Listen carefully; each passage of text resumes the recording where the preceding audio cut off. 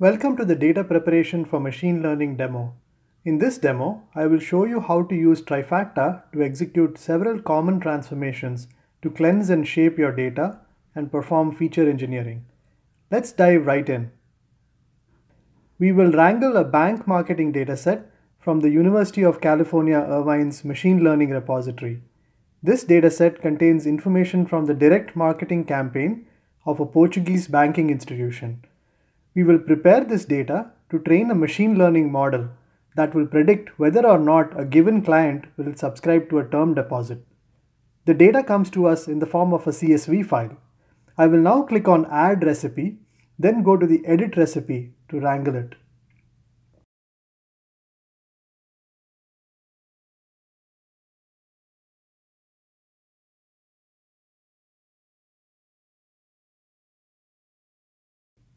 Trifacta opens the dataset in a familiar Excel-like view where I can explore the data.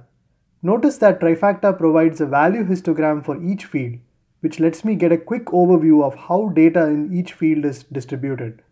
There is also a data quality bar that alerts me to any missing or mismatched data. This data contains several categorical variables. For example, the job field contains 12 discrete values.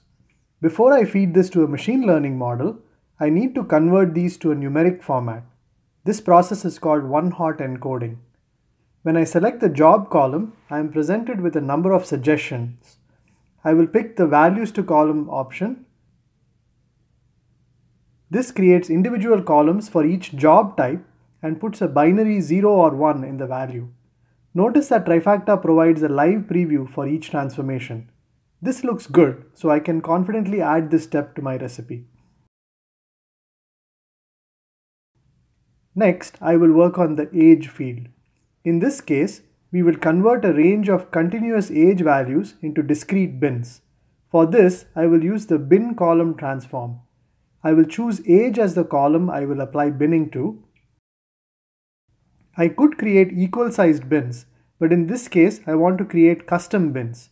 So I will go ahead and specify the upper threshold for each bin. The first bin has an upper threshold of 17 to capture all minors. Subsequent bins capture people in their 20s, 30s, 40s, and so on. Everyone age 70 and above belongs to a senior category. Now that I have created age bins, I no longer need the original age field, so I will delete it.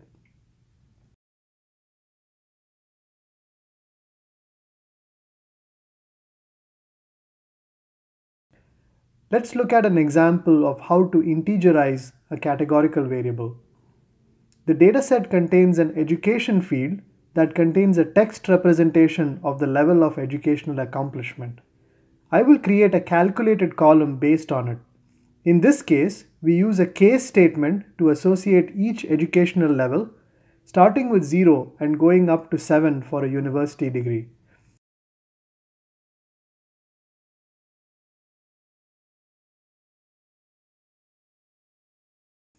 I will now scroll to the last column of the dataset.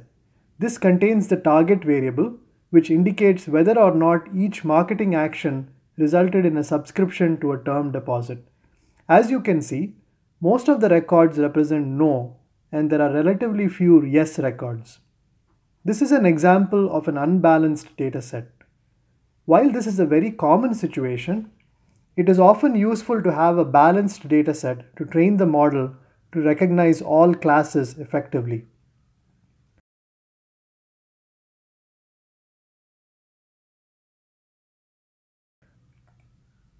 To begin balancing this dataset, we will first create an ordered row number field that sorts the dataset based on the target variable and derives a row number. We will use the rolling sum function to increment the row number. This is a window function that requires you to specify the sort order we will choose to sort the data based on minus y, which indicates descending order of the target variable y.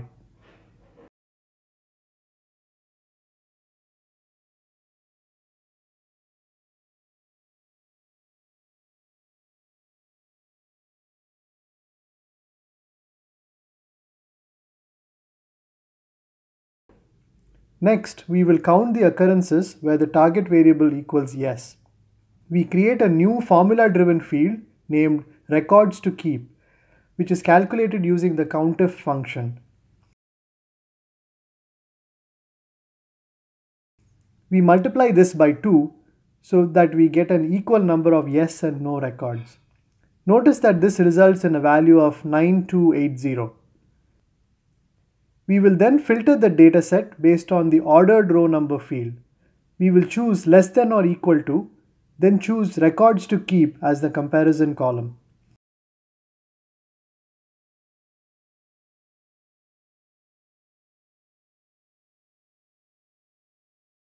After we apply this recipe step, notice that the dataset now contains 9280 rows with an equal number of yes and no values in the target variable. We will now split this dataset into a training and test dataset. To do this, I will create a calculated column based on a random number.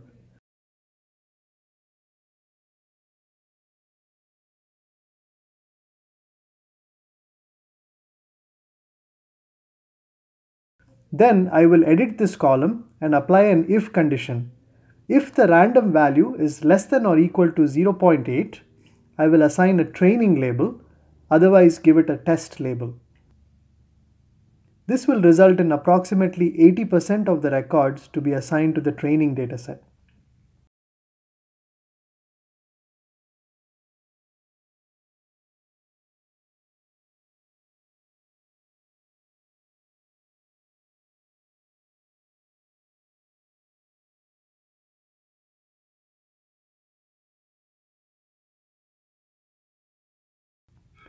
Before I produce the datasets for training and testing, I will remove some unnecessary columns from my dataset.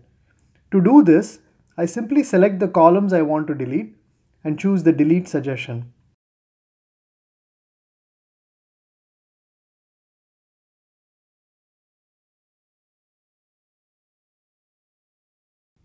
I will now go back to the flow view and create two new recipes based on the result I have so far.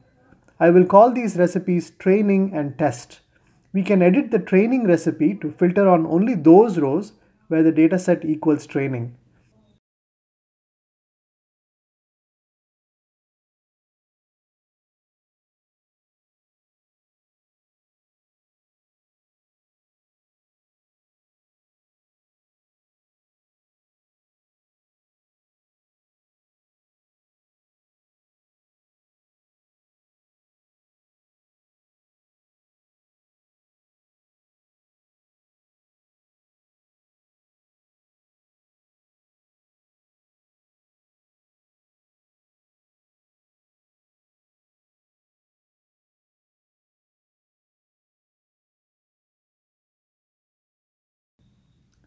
Next, we do the same thing for the test recipe.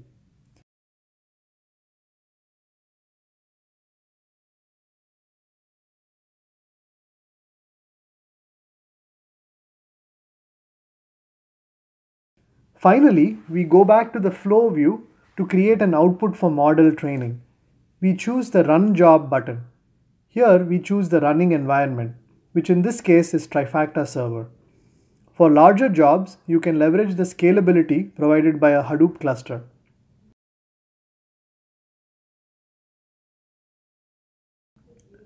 You also choose the publishing format. The default is CSV, but I can add additional publishing actions and choose from Avro, CSV, JSON, Parquet, and TDE as the output formats.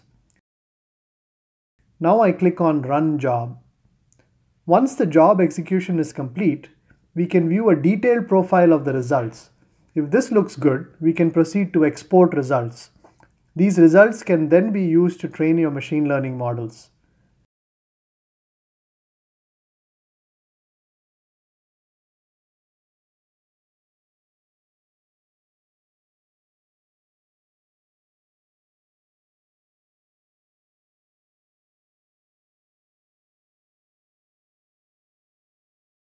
I hope this video gave you an overview of the common data preparation steps for machine learning. We barely scratched the surface here, and there are a lot more features in Trifacta to simplify data prep for machine learning. Hope you found this video helpful and if so, please be sure to like and share it or post a comment below. Thank you.